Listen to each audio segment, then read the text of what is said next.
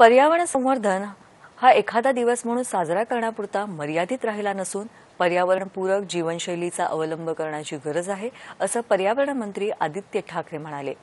राज्यातल्या शहरांना carbon neutral आणि नेट झिरो होण्यासाठी राज्य शासनामार्फत प्रयत्न करण्यात येत आहेत.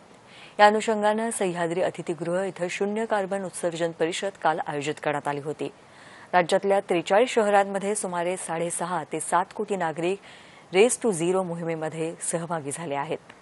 राज्यात कधी दुष्काळ अतिवृष्टी वादळं अशा नैसर्गिक आपत्तीच्या माध्यमातून वातावरणीय बदलांचे परिणाम दिसून येत आहेत. कमी वेळेत अधिक पाऊस पडत आहे हे सर्व लक्षात घेता पर्यावरण चांगले राहावं यासाठी विचार नव्हे तर कृती करण्याची वेळ आली आहे.